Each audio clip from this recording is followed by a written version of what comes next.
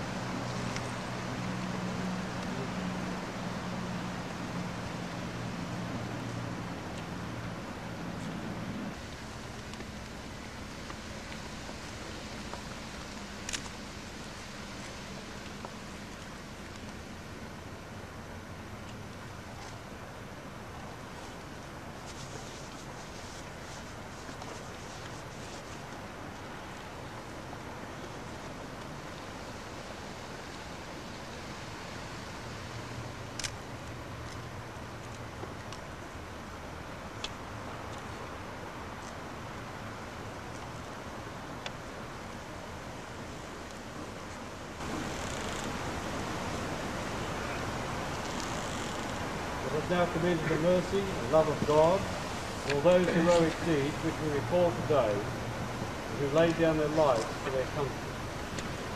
Remember, O Lord, the brave and the true, who have died the death of honour and are departed in the hope of the resurrection to eternal life. In that place of light from which sorrow and mourning are far banished, give them rest, O Lord, thou lover of all, and grant to us to remain the spirit of service, which may make us worthy of their sacrifice through Jesus Christ our Lord. Amen. With proud thanksgiving, let us remember those who have gone before. They shall grow not old, as we that are left grow old. Age shall not weary them, nor the years condemn. At the going down of the sun, and in the morning, we will remember them, We will remember lest we forget. Lest we forget.